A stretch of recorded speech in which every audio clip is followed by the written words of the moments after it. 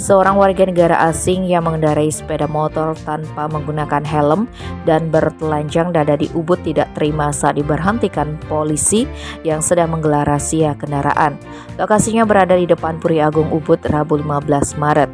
Peristiwa itu pun viral setelah videonya diunggah ke media sosial oleh salah seorang netizen. Dalam video tersebut, bule tersebut terlibat adu argumen dengan sejumlah polisi yang menghadangnya. Ia tidak mau turun dari sepeda motor bahkan membentak polisi. Salah satu personel kepolisian itu adalah Kasat Lantas Polres Gianyar AKP Muhammad Bayangkara Putra Sejati. Namun AKP Bayangkara menghadapi bule tersebut dengan tenang meskipun warga sekitar sudah geram dengan tingkah bule yang terkesan menantang tersebut.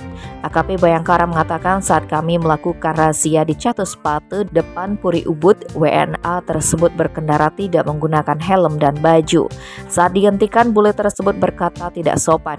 Namun ia menghadapinya dengan tenang sampai akhirnya bule tersebut mau menunjukkan surat-surat kendaraannya. Kendaraan bule itu tidak disita karena yang bersangkutan berhasil menunjukkan STNK. Tim Bali Express melaporkan.